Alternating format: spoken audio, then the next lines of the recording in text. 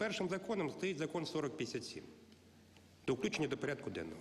Це арешт і конфіскація активів Януковича. Ми всі розказуємо, як нам треба дбати за народ. Це 50 мільярдів гривень.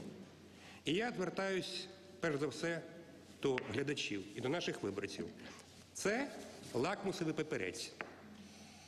Хто завтра не буде за нього голосувати, тоді не вірте оцім словам про турботу, про захист. Таке враження, що половина політикуму вже акціонери цих активів. Мова йде про 50 мільярдів гривень на оборону, мова йде про 50 мільярдів гривень на підвищення соціальних стандартів, мова йде про те, що суспільство від нас вимагає забрати ці кошти. І зараз ми почуємо купу ще демагогії, чому цього не можна робити, що треба ще почекати і повернути Януковича. Фракція Народного фронту, наш комітет одностайно інформують шановних колег, цей закон завтра буде прийнятий.